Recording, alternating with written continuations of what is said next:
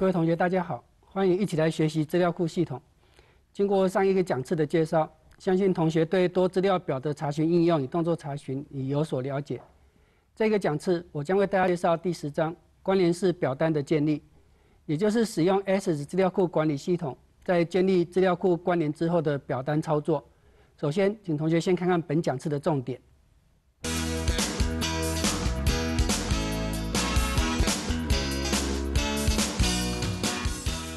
于关联式资料库系统中建立多重资料表的表单，使用与编辑母子表单。表单资料编辑，学习表单属性的进阶设定。首先，我们就从关联式资料库系统中建立多重资料表的表单开始为同学介绍。所谓多重资料表单，是指一个表单包含了一个以上的资料表。当我们设定好资料表之间的关联性之后，可以利用 S 所提供的表单精灵，依序建立多重资料表的表单。多重资料表单的资料来源是由主表单与子表单所组成的。主表单它是第一层呈现的主要表单，而子表单则是包含在主表单内的表单。在一对多的关联中，主表单的一笔记录，它对应到子表单的多笔记录。有关电脑操作，我还是需引用上一讲次的学生显扣系统为例，为同学介绍建立教师授课资料表单。这个表单的资料来自教师资料表与开课资料表，透过资料库的关联，我们就可以建立一个母子表单。请同学看电脑画面。开始资料库后，我们将滑鼠移至上方，左眼功能区，一样点选建立。在中间表单区块里面，我们点选其他表单，再点选表单精灵，就可以启动表单精灵对话方块。首先，我们要选取是表单内要显示的栏位。选择方式先选取资料表查询的旁边的向下的箭头，再选取资料表名称，再由可用栏位中选取栏位名称。我先由教师资料表点选教师资料表后，我们选取教师编号和教师姓名，再由开课资料表点选开课资料表后，开课资料表栏位出现在可用栏位窗格中，我们再点选课程编号、课程名称和学分数。决定好所要的栏位之后，我们按下一步钮，选择最大的显示检视方式。在检视方式中，它可以让我们决定以哪种方式来检视资料。目前预设的检视方式是以教师，而下方选项则有有子表单的表单以及连接表单，而窗格右方只会出现检视的样式。如果我们点选连接表单的方式，则同学会看到上面的显示方式会不一样，它会经由连接的方式再产生表单。同样的，如果我们改示范以开课的方式来检视的话，则它会以单一表单的形式来显示。在这个例子里面，我选两个资料表中，主资料表是教师资料表，所以。我点选以教师，而下方检视方式，我们选择有子表单的表单的方式来显示。接着按下一步钮，来决定我们的版面配置。版面配置提供两种，表格式与资料工作表，而配置方式会出现在左方的小图示上。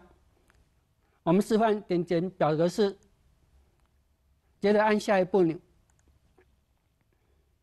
选择我们所要的样式，我们在这边示范点选宣纸样式，同样的，它的样式会出现在左方的小图示里面。当确定好选要选择的样式之后，选下一步钮，这时候会输入表单的标题，因为我们是建立母子表单，所以标题名称会有两个。表单的地方，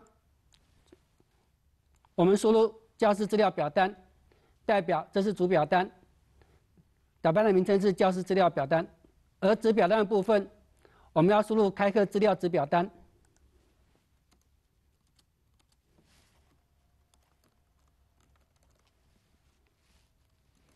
那开课资料子表单就会是子表单的名称，而在下方，我们的检视方式是开启表单来检视。当完成后，点选完成钮。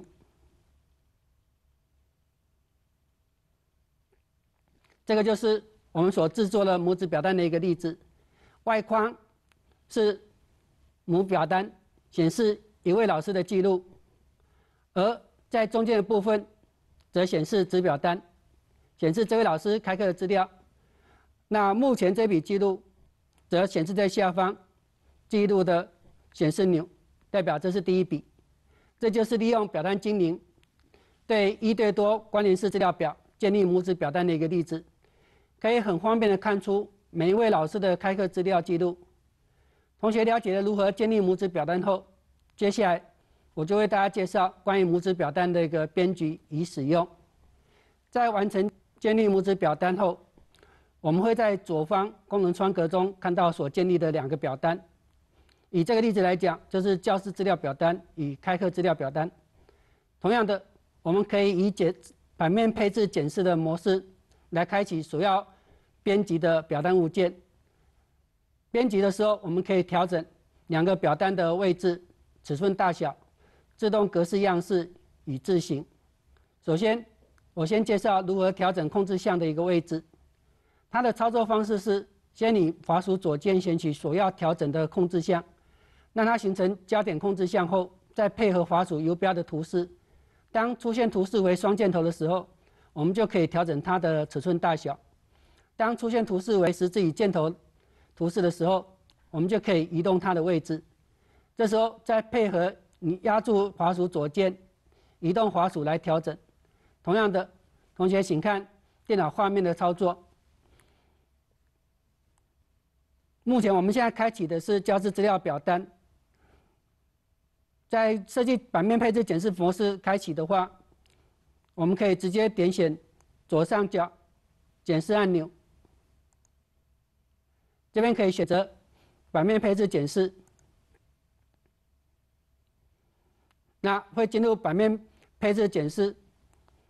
的工具画面，那我先示范，点选教师姓名栏位，在每个控制项，同时在点选时注意，它会有两个控制项名称，一个是标签控制项，目前我点选这个教师编号，这是标签控制项，而右边目前我点选这个，则是文字方块控制项。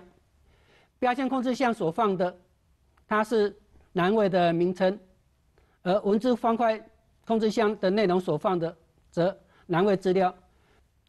同学要操作的时候，点选要留心我们所点选的控制项。那同学请看电脑画面，为大家示范它的改变它的大小尺寸。你目前所点选的是文字方块控制项，当我滑鼠游标移到边界的时候，它会出现双箭头。这时候我可以压滑鼠左键，就可以改变它的尺寸大小。那现在这两个栏位名称形成一个群组的方式。如果你要移动或改变的时候呢，这两个栏位会一并移动。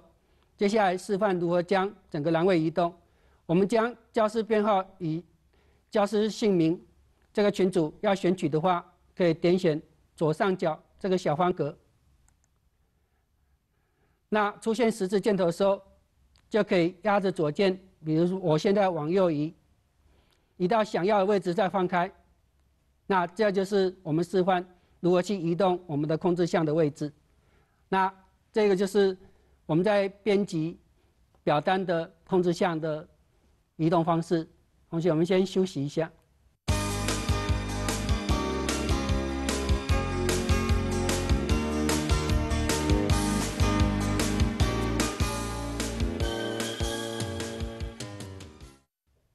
我们刚刚示范的就是如何去移动控制项的改变它的大小与它的位置。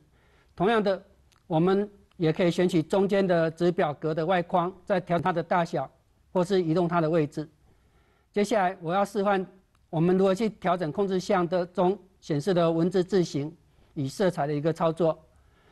它的操作方式同样是先以滑鼠左键选取所要调整的一个控制项，让它形成焦点控制项后，再以滑鼠点选上方索引功能区表单版面配置工具中的一个格式标签下。有一个字形区块，字形区块中的按钮就是我们在设定我们所要显示的字形的一个色彩大小的一个改变的。接下来我就示范如何以标准标签控制项里面，我们来改变开课资料的显示的一个内容。我们将它改成标楷体，十四的字体大小，红色的字。同学请看电脑画面。我们先点选开课资料。然后再将滑鼠移到上方索引功能区，版面配置工具的格式下方的左方里面有整个区块，这是字形的区块。首先我示范，我们点选标楷体，在字体这地方点向下的按钮，这里我们可以找到我们要的字体。点选以后，这是我们设定标楷体的方式。同样的色彩，在右边。同学如果将滑鼠由停留在按钮上面的话，它会有提示字眼，这就是字形色彩。在点向下的按钮，有一个调色盘供我们选择。我们要红色的字，就点选红色。同样的下方，资料会直接显示在上面。相同的方式，我们的字体大小，在字形的旁边，这十代表目前是字形大小是大小是十，同样的，我们改变为十四。那这个就是我们关于字形设定的一个改变。接着，我示范自动格式设定的一个调整。这个调整方式同样，我们可以利用滑鼠直接点选上方索引功能区表单版面配置工具中的格式标签下，自动格式设定这个区块里面的，直接选取所要的格式按钮就可以了。但是在操作的时候，同学请先注意，你目前所设定的操作，尤其在有母子表单里面，对子表单的格式并没有影响。如果要对子表单格式加以编辑的话，需要另外将子表单以版面配置模式来开启，这样同样方式编辑子表单。那我就以版面配置检视的模式来示范这两个操作方式。同学请看电脑画面，我将滑鼠到左方开个资料子表单，点选滑鼠右键，我们以版面配置检视。开启，这是子表单。然后我们要改变它的自动格式设定，所以将滑鼠移到上方版面配置检视工具的格式标签下的右边，就右方这一块，就是自动格式设定的按钮区，我们点选。向下的按钮就可以选拣我们要套用的一个格式。以北方套用为例，当我们点选后，那开课子表单就会套用这个样式。那同学，我点选回来教师资料表单，同学会发现，在教师资料表单里面。子表单的格式并不会套用进来。如果要将子表单格式套用的话，一定是先将两个表单都关闭，储存变更设计以后，再重新开启，这时候才会将子表单的格式套用进来。这个就是我们对母子表单的编辑的一个操作，相信同学。应该能够辨识表单中各个控制项，其实我们在对表单内各个控制项加以编辑的时候，便是对控制项的属性做设定，只是我们并没有利用控制项的属性表来做设定而已。那在 Access 资料库管理系统中，各个物件或控制项都设定有它专属的一个属性值。我们对各个物件的编辑操作，也都是在设定它的属性值。我们可以在设计检视模式下检查各个属性值的一个设定。也可以直接在属性表上面加以设定。接下来，我们所要介绍的表单资料的一个编辑的一个操作，就需要透过修改属性值的一个方式来完成设定。接下来就为大家介绍表单资料编辑的一个操作。在表单资料编辑这个小节里面，我所要介绍的是两个比较特别的一个属性设定：唯独属性与查阅栏位的设定。首先介绍唯读属性。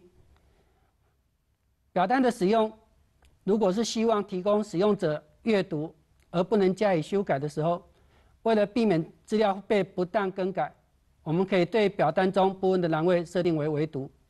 所谓唯读，就是使用者只能看到资料内容，并不能加以更改。我接着就示范将教师资料表单中教师姓名以教室编号栏位设定为唯独的操作。同样的，请同学看电脑画面。目前我所开启的教师资料表单是直接检视，并不是在设计检视。那同学，我们可以直接将滑鼠游标移到左上方，点选检视按钮，在点选版面配置检视。这时候就会以版面配置检视模式。来检视我们这个教师资料表单，在主表单里面，我们点选教师姓名文字方块控制项，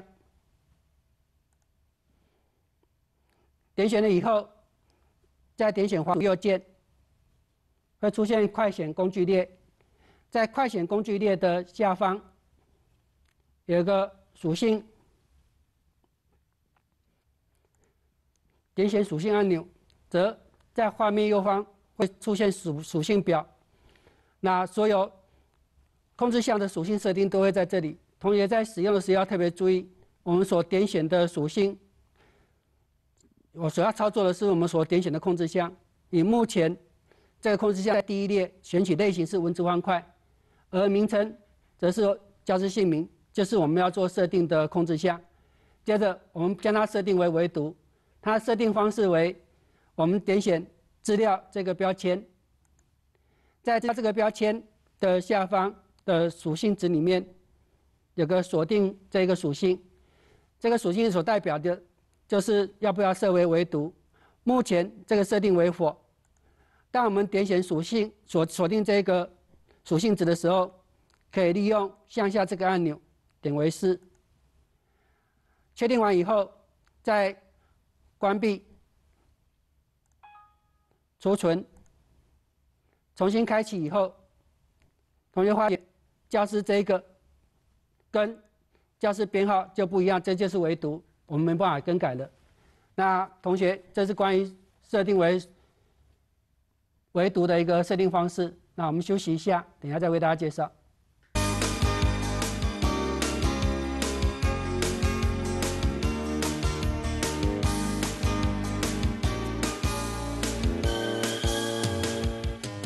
接着为同学介绍另外一个避免资料被不当更改的一个属性设定，那就是查阅栏位的设定。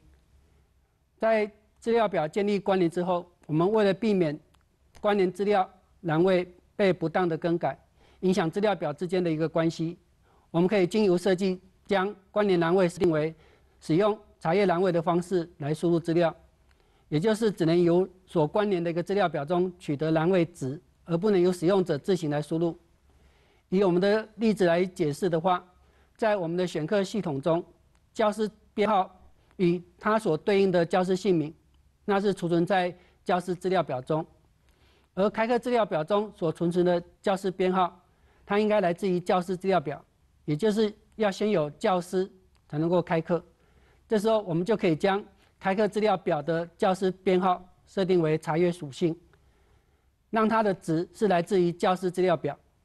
接着我就利用电脑操作示范，请同学看电脑画面。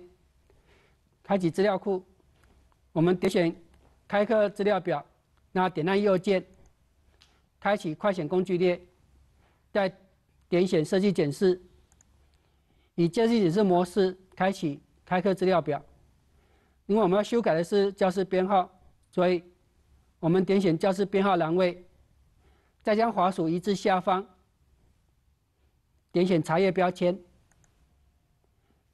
在第一列，目前显示控制项是文字方块。我们点选文字方块这个栏位，点向下箭头，将它改为清单方块。当设定为清单方块后，它的第二列资料来源类型，我们我们要来自教师资料表，所以是资料表跟查询。接着我们选择第三列资料来源，在空白栏位点选后。我们可以点选向下的箭头，利用这个来找寻我们要的资料来源。那教师编号是来自于教师资料表，所以我们选取教师这个资料表。接下来的结合栏位，目前是输入一，表示它是使用教师资料表的第一个栏位，而下面的栏数也是一，表示清单方块是资料来源的第一个栏位。当设定完之后，我们按关闭钮，再按四，储存变更设计。这时候我们重新开启开课资料表。这时候再点选教师编号，会发现有一个向下箭头可以选择。当选箭头的时候，它会出现教师编号可用的，目前有三个产品记录可以选择。那这已经变成查阅属性的设定了。那以上就是设定查阅属性的一个操作设定。同学发现这样的设定操作有一点点复杂。那同样的，SS 也提供一个查阅精灵来帮助我们设定查阅属性。接下来我就为同学介绍查阅精灵的一个操作。那这次我们改以成绩资料表示成绩资料表中的学号是来自于学生资料表。那我们利用这个为例来示范如何将成绩资料表的学号设定查阅属性。那同学要注意的是，我们在使用查阅精灵的前之前，要先将这几个关联表之间的关联性取消掉。也就是，当我们在设定学生与成绩之间的关联的时候，那我们设定查阅栏位需要把它关掉，否则会出现警告画面。同样的，我利用电脑操作为同学做示范，请同学看电脑画面。首先，开启资料库以后，我们点选上方所有工具列，资料库工具，在资料库关联图，同学发现目前整个资料库的关联已设定好了。那在设定好的情况之下，我设计以设计检测模式开启成绩资料表，点选右键，设计检测模式开启后，同样的，我们的学号是来自于学生，所以我点选学号，而在资料类型这一栏，我们可以点选向下箭头，在表格最下方有查阅精灵。当我点选查阅精灵的时候，就会出现这个警告画面。那这个就是当我们关联没办没有关闭的时候，就不能这样做设定。那要修改的话，按确定以后，我们需要将成绩与学生之间的关联性取消。所以，我们将成绩资料表关闭后，将学生与成绩这个关联点选后。点右键将它删除，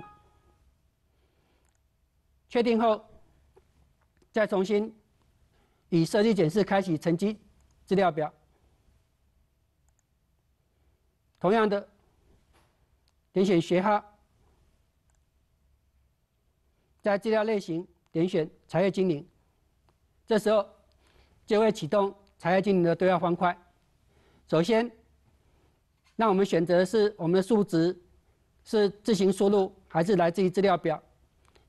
以这个例子来说，我们需要查阅栏位是来自于资料表，所以点选上方这个点项，接下来按下一步。那我们选择我们的资料表来源是什么？那我们的学号来自于学生，所以我们直接点选学生资料表，再按下一步。在可用栏位里面，我们是来自于学号，所以点选学号两次，选择学号以后，按下一步，选择排序方式。同样的，把排序设定跟我们之前设定一样，我们目前可以选择学号排序，同样的按下一步。在财案心灵，它允许我们对栏位宽度做设定。栏位宽度设定，我们可以利用滑鼠 U 标的图示，点选左边来改变。哦那也可以直接点选左键两次，取得最佳的一个宽度设定。这样设定完以后，按下一步，输入标签。那我们标签还是学号，所以不改变。那下方是否允许多重值的设定？我们不勾选代表我们不允许多重值。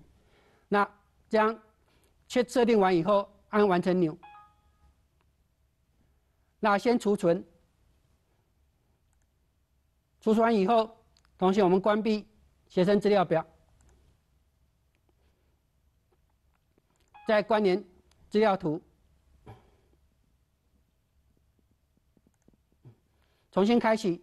资料库工具，资料库关联图，同学会发现，学生跟成绩资料表之间的关联性已经建立起来了，而这个建立方式，它是由系统自动帮我们设定的。那同样的，如果我们利用刚才的步骤，开启成绩资料表，这时候我们再点选学号，那会出现一个向下箭头。点选箭头以后，就可以有学生的学校可供选择。那这个就是利用茶叶精灵帮我们设定的一个茶叶属性的一个设定方式。那以上是关于我们在资料表属性设定里面两个比较特殊的唯独属性，以茶叶来精灵的一个设定方式。那本讲次的最后，我们要介绍让表单相关编辑。新增和删除记录等作用失效的一个属性设定。为了让表单只能有查询及浏览的一个功能，不允许对资料加以修改，我们可以设定表单的一个属性，让表单无法编辑、新增和删除记录。那设定的方式呢？同样的，我就直接为同学介绍，就是直接进入我们的设计检视模式。当点取你所要的控制项以后，再点选你的属性按钮，开启属性视窗。同样的，在属性视窗表的时候，同学要注意设定的时候，注意你的控制项的名称。那要设定的话，它是在资料那个标签里面的是否允许修改、新增这个选项。那相关的内容，请同学能够看到课本上面所提示的。那配合我们电脑出现的画面，那这个讲次我们先介绍到这里。那下一个讲次我们继续介绍，接在资料库建立关联之后的一个报表的一个操作。同学，我们今天就介绍到这里，我们下一个讲次再见。